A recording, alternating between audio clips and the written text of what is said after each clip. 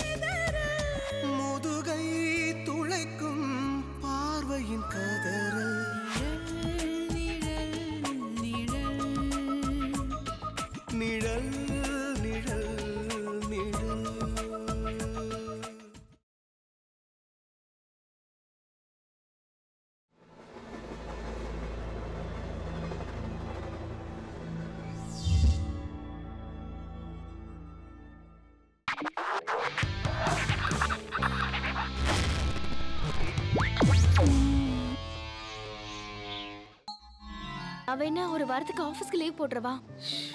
ஏண்டி இங்க வந்து உங்க அம்மா என்ன வீடு கட்டுறதுக்கா? அம்மா தாயே அந்த மாதிரி எதுவும் பண்ணிடாத. முதல்ல சிவராமன் சார் சொன்னத அவங்க எப்படி புரிஞ்சுக்கிட்டாங்கன்னு தெரியல. பிரச்சனையை ஃபேஸ் பண்ணு. அப்பதான் ஆனந்தனுக்கும் உனக்கும் ஏதாவது வழி பிறக்கும். ரஞ்சனி இங்கே இருக்கிறது சிவராமன் சார் மூலமா அவங்க வீட்டுக்கு தெரிஞ்சிருச்சுடா.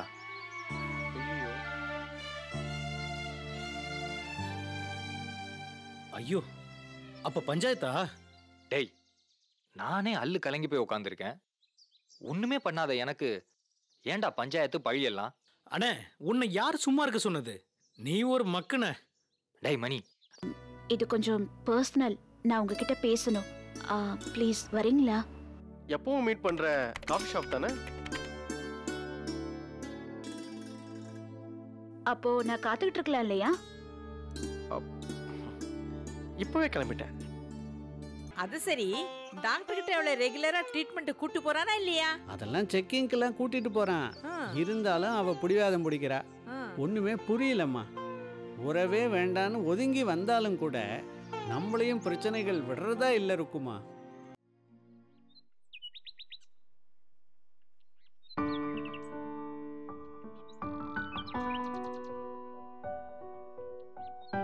மேடம் ஒரு ஃபைவ் மினிட்ஸ் கழிச்சு உங்களை கூப்பிடுறேன். Okay. Madam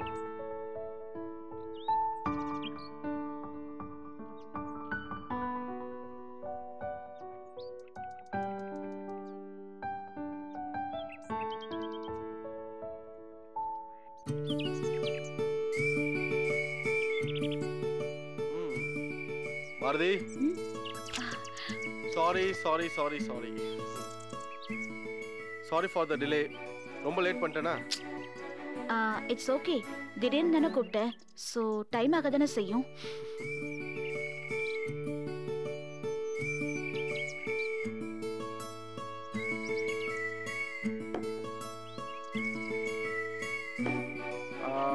ரெண்டு காஃபி எடுத்துட்டு வாங்க. ஓகே சார் ஸ்நாக்ஸ் ஏதாவது சூடா இருந்தா கொடுங்க. ஓகே சார் ஆ எடுத்துட்டு வாங்க. ஆ, ஆ, ஐயோ உங்களை கேட்காம நான் ஆர்டர் பண்ணிட்டேனே. சாரி இதுல என்ன இருக்கு அருண்? இட்ஸ் ஓகே நானும் அதே தான் ஆர்டர் கொடுக்கலாம்னு நினைச்சேன். என்னடா நடக்குது அருண்? பாரதியா இது?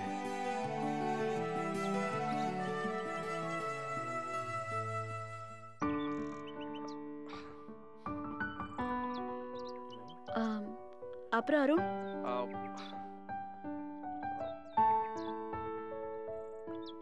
ஆன் டேட் இருக்கிற லோன் அமௌண்ட்டை நீங்கள் ஏற்றுக்கிற பேங்க் லெட்டர் லீஸ் அக்ரிமெண்ட் அப்புறம் ஓனர்ஷிப் ட்ரான்ஸ்ஃபருக்கான எல்லா டாக்குமெண்ட்ஸும் இதில் இருக்கு. வாழ்த்துக்கள் பாரதி. இது வரைக்கும் பத்திரிகையில் பேசப்பட்ட பாரதி தன்னுடைய மேடம். பத்திரிகை மூலமா உலகம் பூரா பேசப்படணும்.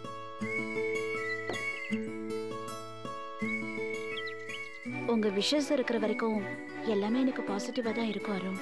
You are most welcome சாப்பிடுங்க. ம் டேஸ்டி நல்ல ஆட்டா இருக்குல்ல பாரதி. ம். இங்க கொடுங்க. குட் அருண் பில்ல கொடுங்க. பாரதி இது உங்க முன்னேற்றத்துக்காக நான் தர ட்ரீட் ஸோ நான் தான் பே பண்ணுவேன்.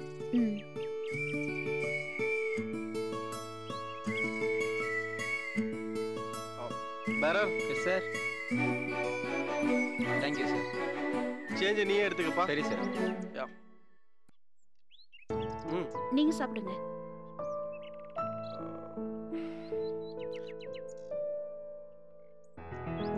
சரி பாரதி. புறப்படலாமா?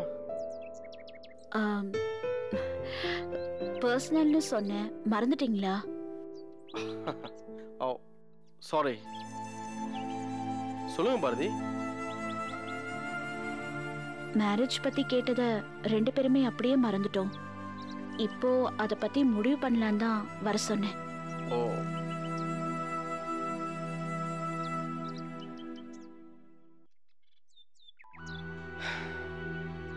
உண்மைதான் பாரதி.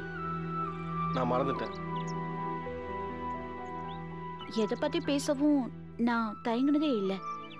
பட் மேரேஜ் லவ் இதை பத்திலாம் யோசிக்க கூட ரொம்ப தயக்கமா இருக்கு. ஸோ நீங்கள் எதுவும் டிசைட் பண்ண முடியல. அப்படி நான் எடுத்துக்கலாமா? நோ நோ நான் டிசைட் பண்ணிட்டேன். எனக்கு ஒருத்தரை பிடிக்கலனா கடைசி வரைக்கும் பிடிக்காது. நான் அப்படிதான் இது வரைக்கும் வளர்ந்தேன். பட் உங்க கூட சண்டை போட்டப்பெல்லாம் something something happen to me இது காதலா என்னன்னு எனக்கு தெரியாது. பட் எனக்கு இது ரொம்ப பிடிச்சிருக்கு.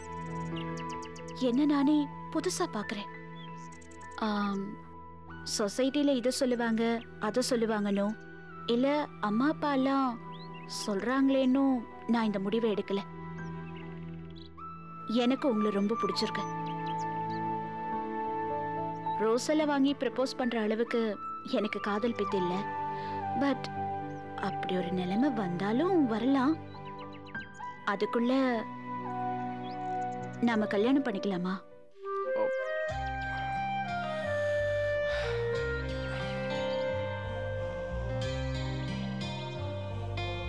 உங்கள் வீட்டில் இனிஷியேட் பண்ணவே நீங்கள் ஈஸியாக டிசைட் பண்ணிட்டீங்க. பட் நான் அம்மா கிட்ட பேசணும் பாரதி.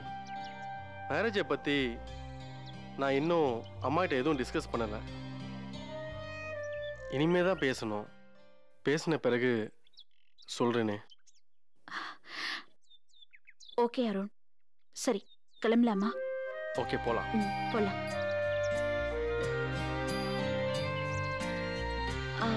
டாக்குமெண்ட். ஆ நான் எடுத்துட்டேன் வா. ஊரை கொள்ளையடிச்சவன் அயோக்கிய கொல்ல மாதிரி இவனுங்கெல்லாம் இந்த ஊர்ல ரொம்ப நல்லவனுங்களாம். கொப்பா எதிர்க்க வந்ததுனால சகுனம் சரியில்லைன்னு சொல்லிட்டு ஒருத்த வீட்டுக்குள்ள போயிட்டான். நிச்சயதார்த்தம் பண்றதுக்கு எவ்வளவு பட்ஜெட் ஆகும்னு தெரியல. மண்டபம் பிடிக்கணும் துணிமணி எடுக்கணும் நகை நட்டு வாங்கணும். நிச்சயதார்த்தத்துக்கு வரவங்களுக்கு நல்ல சாப்பாடை போடணும். மாப்பிள்ளை சைடு எவ்வளவு பேர் வராங்க? நம்ம சைடு எவ்வளவு பேர் வராங்க? ஒண்ணும் தெரியலையே. இதெல்லாம் என்ன ஏதுன்னு கொஞ்சம் இருந்து பாத்துக்கப்பா? இந்த பொறுப்பெல்லாம் என்கிட்ட கொடுத்துட்டு நீ ஒரு ஓரமா நிம்மதியா உட்காந்துனா எல்லாத்தையும் நான் சூப்பரா பாத்துருவேன். ஏன் எல்லாத்துலயும் கமிஷன் அடிக்கிறமா ஞாயிற்றுக்கிழமை தோறும் இரவு ஒன்பது முப்பதுக்கு ஞாயிற்றுக்கிழமை தோறும் இரவு ஒன்பது மணிக்கு காதல் உறவு திருமணம். நான் ஆஃபீஸ் வரைக்கும் ஒரு இம்பார்ட்டன்ட் வேலையாக போகிறேன் ஏய் ஒரு டென் மினிட்ஸ் நான் ரெடி பண்ணிடுறேன். வீட்டு வேலையிலே உன்னோட டயத்தை வேஸ்ட் பண்ணிடாத. உன்னோட பொட்டென்ஷியலுக்குலாம் இது ஒர்த்தே இல்லை. இதை பற்றி நான் பேசணும்னு நினச்சேன். ஈவினிங் வந்து பேசுகிறேன்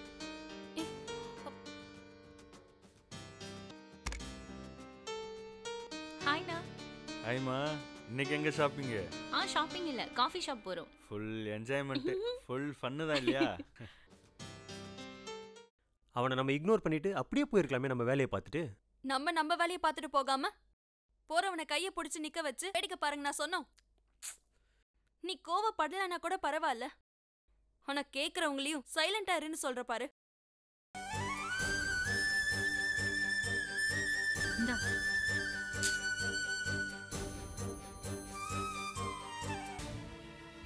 அழவும் முடியல.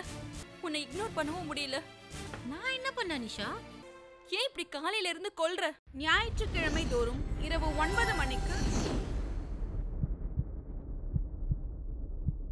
காப்பர் வெல்டிங் இருக்குது இந்த சில்வருக்கு வெல்டிங் இருக்குது இது ஆனால் கிளாத் வெல்டிங்ன்றது இப்போ தான் ஃபஸ்ட் டைம் நான் கேள்விப்படுறேன் இது கிளாத் வெல்டிங் மிஷின் என்னது கிளாத் வெல்டிங் மிஷின் என்ன தெரியல உங்களுக்கு? அது தைக்கிற ஊசிங்க. அதுதாங்க கிளாத் வெல்டிங் மிஷினு ஞாயிற்றுக்கிழமை இரவு எட்டு முப்பது மணிக்கு. ஏர் அக்குபச்சர் மிஷின் இதா, இதா, just four thousand nine hundred and ninety nine five தௌசண்ட்க்கு ஒன் ருபி கம்மி. இப்போ கையில் இப்படி பிடிச்சிக்கிறீங்க சார். இப்போ நீங்கள் இந்த கை மூட்டுக்காகணும் போது இப்படி விசிறீங்களா சார்? இப்போ கழுத்துக்காகணும் போது கையை இங்கே ஸ்டெடியாக வச்சுருங்க சார். இப்போ தலை இங்கே பாருங்க சார். என்ன பாருங்க சார்? இது மூணு தான் எங்கள் கம்பெனி சொல்லி இந்த பக்கம் மூணு இந்த ஏதோ பக்கம் ஒண்ணு. சீக்கிரமா சொல்லி எனக்கு இது அஞ்சாயிரம் ரூபாய். இருங்க சார். அவனா ஆனா இந்த ஃபிங்கர்ஸோட எலும்புகள் இருக்குல்ல சார். அதுக்கு தடுமாறுங்க, உட்கார வைக்கிறேன் உட்கார வைக்கிறேன் ஏன்? வேற எந்திருங்க நடுக்கிறாரு ஏங்க வாங்க நடக்க முடியாதா? அஞ்சாயிரம் ரூபாய் கொடுத்துட்டு இருங்க சார் ஏய் நடக்கலாம் முடியும்டா. நீ பண்ண வேலைக்கு கேரா ஞாயிற்றுக்கிழமை இரவு எட்டு முப்பது மணிக்கு காமெடி கலாட்டா.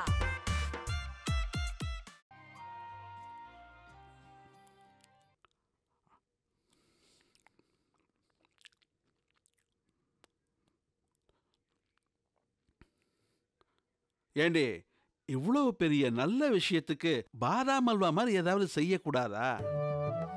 தினம் கின்ற உப்புமால உப்புக்கு பதிலா கொஞ்சம் சர்க்கரைய போட்டுட்டு அத கேசரின்னு என் தலையில கட்டுறியேடி. இதெல்லாம் நியாயமாடி விஜயா. ஆமா இந்த ஸ்வீட்டுக்கே இந்த உறிஞ்சு உறிஞ்சுறீங்க.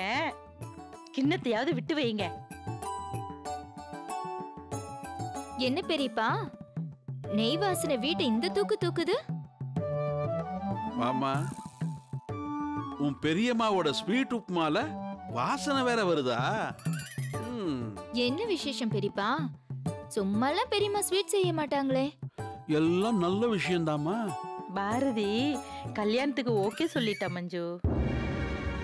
ஆ, எங்க கிட்ட சொல்றதுக்கு முன்னாடியே நேரா போய் அருண் தம்பி கிட்டயே சொல்லிட்டு வந்துட்டாமா அதான் ஸ்வீட் எடுத்து கொண்டாடு மஞ்சு.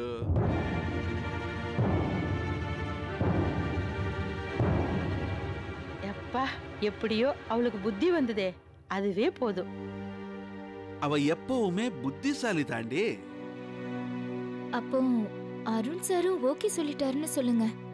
தம்பி அவங்க அம்மா கிட்ட பேசிட்டு சொல்றேன்னு சொல்லியிருக்காருமா? கல்யாண விஷயம்.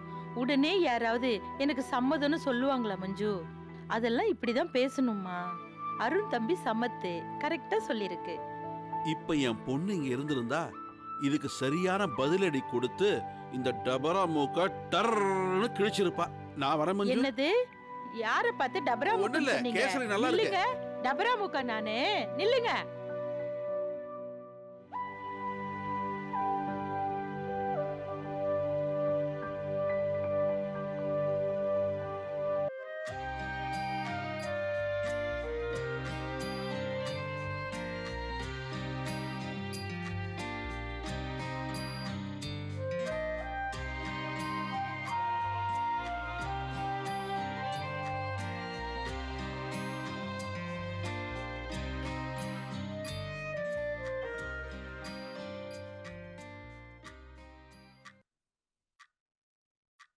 ம்?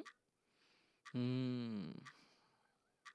என்ன பாஸ் ஏதாச்சும் டுவேட் சீக்வன்ஸா நான் டிஸ்டர்ப் பண்ணிட்டேன்னா ம்? பாஸ் இங்கே தானே இருக்கேன் ஜூனியர் ஏன் இப்படி கத்துறீங்க? ம்? ம். சொல்லிட்டு செய்யுங்க பாஸ் கிளைண்ட் முத்துகிருஷ்ணனை பெயில் எடுக்கிறதுக்கு பாயிண்ட்ஸ் ரெடி பண்ணிட்டீங்களா? ம்? ம். சரிதான். நினச்ச மாதிரி இது குழப்பமான கேஸ் தான். ஆமாம் ஜூனியர். வகையாக சிக்கியிருக்கேன். ரொம்ப சிக்கல் தான் ம்? என்னது ஜி? என்ன சொல்றீங்க? முத்துகிருஷ்ணனை பற்றி தான் ஏன் சொல்லிட்டு இருக்கேன் அவன் கேஸை பற்றி தான் பேசிகிட்டு இருக்கேன் ம் ம். பாஸ். ம். நீங்க ரொம்ப விவரமேட்டிக் பாஸ். போங்க பாஸ். போங்க. ப்ராப்ளம் எல்லாத்தையும் நான் பார்த்துக்கிறேன் போய் நிம்மதியா புள்ள குட்டியோட தூங்குங்க. ம். இந்த ராத்திரியில் புள்ள குட்டிகளை நான் எங்க போறது? சரிதான். முத்துகிருஷ்ணா நீ அம்பேலா? எப்படியோ ஒரு கிளைண்ட் காலி. ம்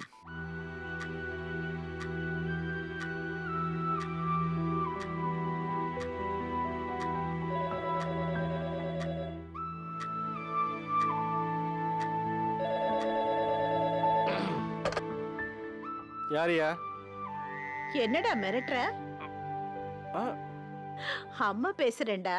ஐயோ சாரிம்மா ஒரு நியூசன்ஸ் கேஸ் அந்த நேரத்தில் நீங்கள் ஃபோன் பண்ணிட்டீங்க.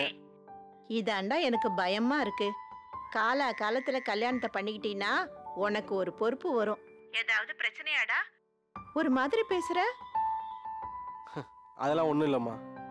அருண் ஒரு முக்கியமான விஷயம்டா. என்னம்மா? நானும் ஒரு முக்கியமான விஷயம் பேசணும்னு இருந்தேன். சொல்லுடா என்ன விஷயம்? முதல்ல நீங்கள் சொல்லுங்கம்மா. அதுவாடா வேலுகிட்ட சொல்லி சாமி கண்ணோட நிலத்தை பேசி முடிச்சிட்டேன். அட்வான்ஸ் செட்டில் பண்ணிட்டா? நிலம் நமக்கு தான் அம்மா இங்கே பாருங்க. இப்போவே உங்கள் அக்கௌண்ட்டுக்கு மணி ட்ரான்ஸ்ஃபர் பண்ணிடுறேன். நாளைக்கே கொடுத்துருங்க. ஏற்கனவே நீ போட்ட காசு நிறைய இருக்கு.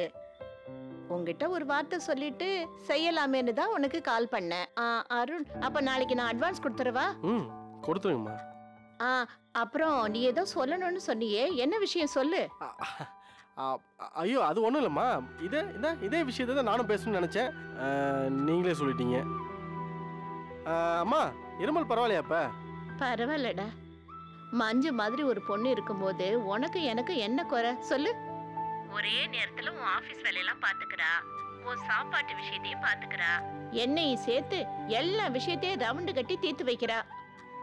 டேய் உன் அம்மா சொல்ற இந்த பொண்ணு மாதிரி ஒரு பொண்ணு கிடைக்கிறது ரொம்ப கஷ்டம். அருண் விட்டுடாத அந்த பொண்ணை. என்னம்மா சொல்கிற ஆமாடா இப்படி ஒரு அசிஸ்டன்ட் யாருக்கு கிடைப்பாங்க? சம்பளம் இல்ல எந்த காரணத்துக்காகவும். மஞ்சுவ வேலையை விட்டு நிறுத்திடாத. இந்த பாருடா. பணத்துக்காக ஆயிரம் பேர் கிடைப்பாங்க. ஆனா இந்த மஞ்சு அப்படிப்பட்ட பொண்ணா தெரியலடா. நல்லவங்க கூட இருந்தாலே நல்ல விஷயங்கள் தானா நடக்கும். அந்த ஆபீஸ் பாய். அவன் தான் இருக்கானே குமார் அந்த ஜூனியர். இதெல்லாம் ஒன்றும் சரி கிடையாது. உன்னுடைய செலெக்ஷன்லயே இந்த மஞ்சு தாண்டா பெஸ்ட் செலெக்ஷன். சரி அருண் நான் வச்சுட்டுமா? கண்ட திருட்டு பயல பத்தி நினைச்சிட்டு இருக்காம கதவை பூட்டிட்டு போய் முதல்ல தூங்கு. சரிம்மா. வச்சிடம்மா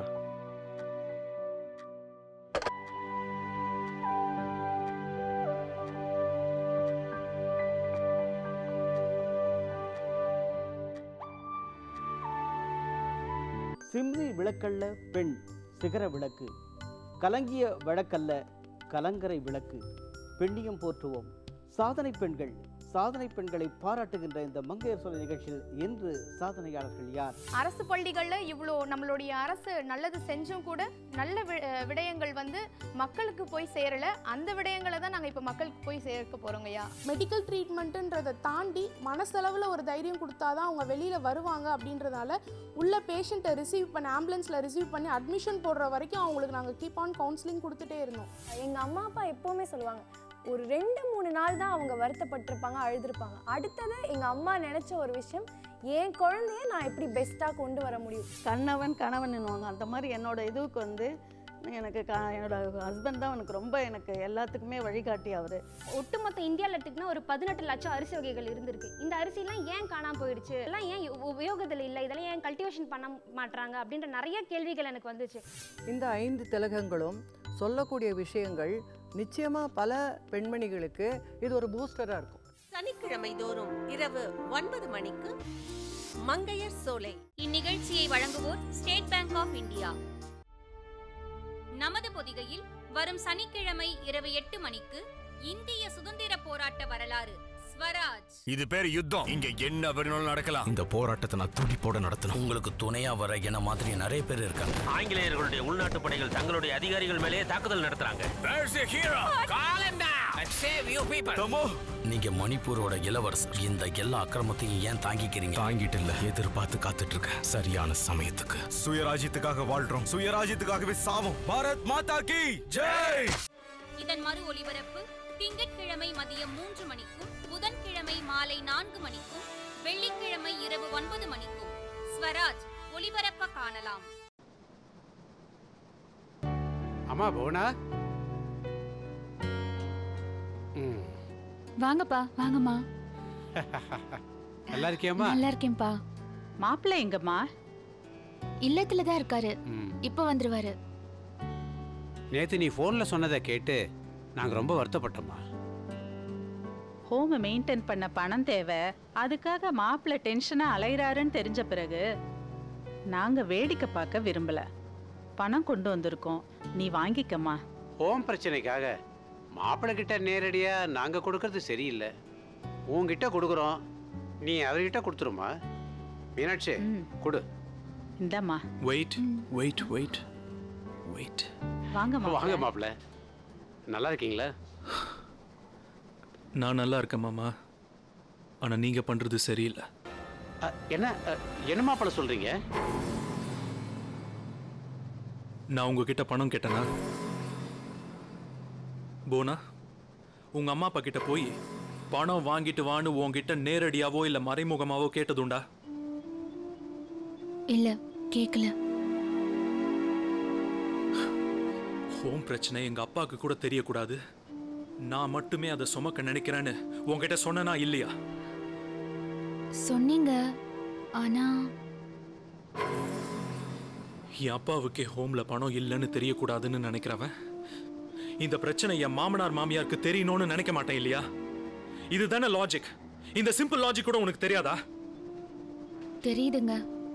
ஆனா பணத்துக்காக நீங்க டென்ஷன் ஆகுறதும் அலையறதும் வீட்ல இல்லாம சுத்துறதும் என்னால தாங்க முடியல. தாங்க முடியாம?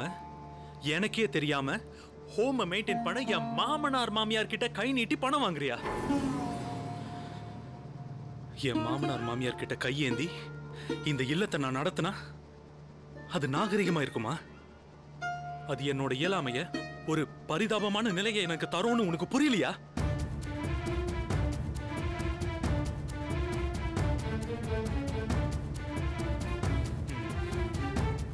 புரிஞ்சிட்டு இருக்க போல. புரிஞ்சிட்டு தான் அந்த நாடகத்தை அரங்கேற்றம் பண்றியா? என் புருஷன் ஒரு கையால் ஆகாதவன் உருப்படாதவன் எதுக்கும் லாய்க்கு இல்லாதவன்னு நிரூபிக்க? இவங்க கிட்ட பணம் வாங்கினியா? என்ன பழி வாங்குறதுக்காக எவ்வளவு நாளா இந்த மாதிரி திட்டத்தை நீ மனசுக்குள்ள பூட்டி வச்சிருந்த? மாப்பிள்ள மாப்பிள்ள ப்ளீஸ். நீங்களும் என் மகளும் கஷ்டப்படுறீங்களேன்னு தான் நல்ல மனசோட உதவி செய்ய நினைச்சோமே தவிர இப்படி ஒரு எண்ணம் உங்ககிட்ட இருக்கிறது எங்களுக்கு தெரியாது. யதார்த்தமா செய்ய நினைச்சத தயவு பண்ணி தப்பா எடுத்துக்க வேண்டாம். இந்த பணத்தால உங்களுக்குள்ள எந்த பிரச்சனையும் வேண்டாம். ஆமா மாப்ள தான் சொந்த கால்ல தான் நிப்பேன்னு என் மருமக வைராக்கியமா நிக்கிறது எனக்கு ரொம்ப பெருமையா இருக்கு. நாங்க வரோம் மாப்ள மீனாட்சி வா. மாமா. ஒரு நிமிஷம். நீங்களும் தப்பா எடுத்துக்க கூடாது. உங்க மகளுக்கு நீங்க தனிப்பட்டு ஏதாவது gift தர்றது அது வேற. இது ஹோம் இதோட நிர்வாகம் வேற. அதனால இதுல கொஞ்சம் நீங்க தலையிடாம இருந்தா நல்லா இருக்கும். நிறுத்துங்க. என்ன பேசிட்டே போறீங்க?